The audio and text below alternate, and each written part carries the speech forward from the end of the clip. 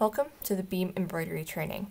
This video is an intro to the Melco Embroidery operating software. From the desktop, open Melco OS. You may see the previous design already up on the screen. Then, you'll go ahead and load a design through the File menu by selecting File, then Load Design. Choose the .ofm file that you saved from Design Shop, which Melco OS will then communicate to the machine. A useful tool in the upper toolbar is the 3D Stitch option, which will show you the 3D version of your design. You may notice that it doesn't show the correct colors that you input within Design Shop. To fix this, we'll set the color sequence for the, the design by going to the right hand side of the screen with the toolbar with a button that says Color Sequence. Hit the Clear All button.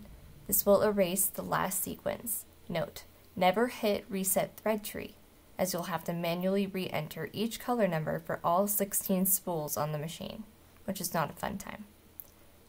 To enter a new color sequence, look at your design colors and click on the corresponding closest color on the thread cone display in the software. Continue to do so until all colors and needles are assigned. If the color on the spool does not match the color on the corresponding number on the top of the embroidery machine, then right-click the number on the software, find the correct number on top of that spool, and then input it to find number, hit apply. Enter, apply, then OK.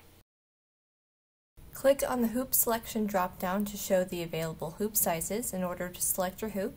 Click on the hoop you want to use or already have loaded. The new hoop will appear in the drop-down window. Center the hoop in the software using the icon or on the machine keypad. Use this chart to determine the sew speed for your project, which can be changed by the machine keypad or by the software controls. ActiFeed is the machine's automatic sensing of material thickness and pull to calculate and feed the correct amount of thread per stitch. Auto ActiFeed is recommended since it automatically adjusts for different garment thicknesses. You can optimize this automation by properly adjusting the lower limit, which involves identifying what type of material you're using, and setting the lower limit to that value using this chart. Design orientation can be changed by clicking on the F icon. Every click will rotate the design 90 degrees.